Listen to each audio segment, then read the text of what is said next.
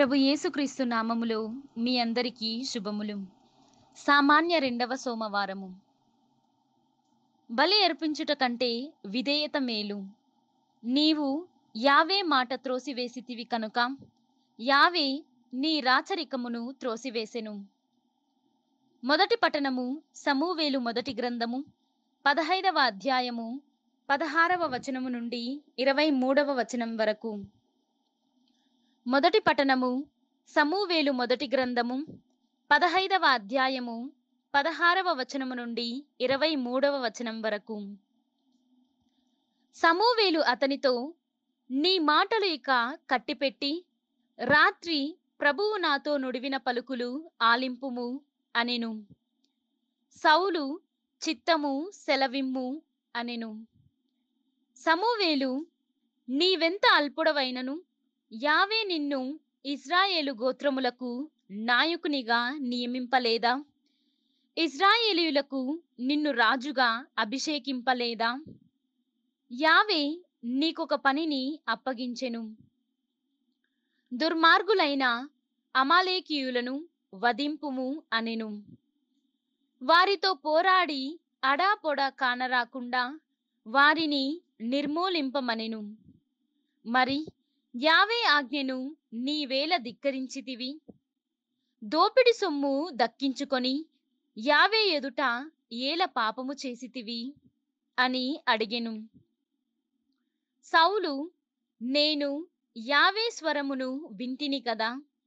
ప్రభువు ఆజ్ఞ పాటించి తిని అమాలేకీయులు రాజు ఆగాగును పట్టి తెచ్చితిని.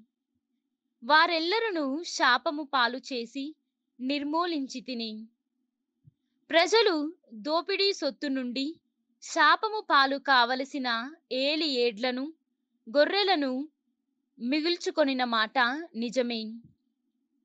కాని గిల్గాలుల వద్ద నీ దేవుడైన యావేకు బలి అర్పించుటకే వానిని అట్టిపెట్టుకొనిరి అని చెప్పెను.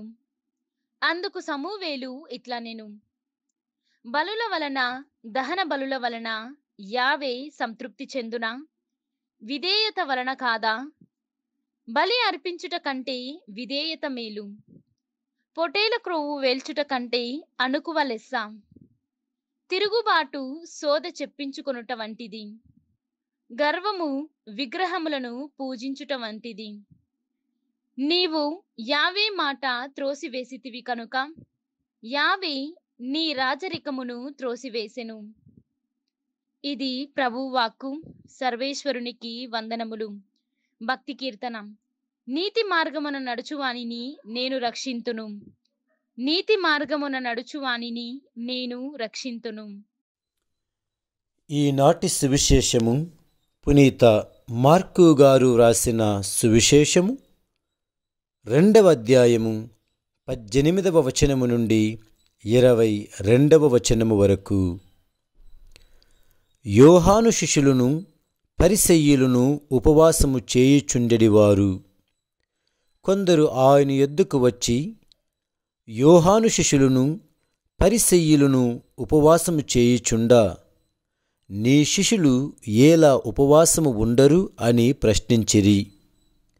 అందుకు యేసు పెండ్లి కుమారుడు ఉన్నంత వరకు విందుకు వచ్చిన వారు ఉపవాసము ఉందురా? పెండ్లి కుమారుడు తమతో ఉన్నంత వరకు వారు ఉపవాసము ఉండనవసరము లేదు. పెండ్లి కుమారుడు ఎడబాయు కాలము వచ్చును అప్పుడు వారు ఉపవాసము ఉందురు. ప్రాతగుడ్డ మాసిక వేయుటకు క్రొత్త గుడ్డను ఎవరు ఉపయోగింతురు? అట్లు ఉపయోగించిన ఎడల క్రొత్తగుడ్డ కృంగుట వలన ఆ ప్రాతగుడ్డ మరియంత చినిగిపోవును. క్రొత్త ద్రాక్షారసమును ప్రాతతిత్తులలో ఎవరు పోయుదురు? అట్లు పోసిన ఎడల అవి పిగులును. అందువలన క్రొత్త ద్రాక్షారసమును క్రొత్త తిత్తులలోనే పోయవలయును అని సమాధానమిచ్చెను. ఇది క్రీస్తు సువిశేషము. క్రీస్తువ మీకు స్థుతి కలుగునుగాక.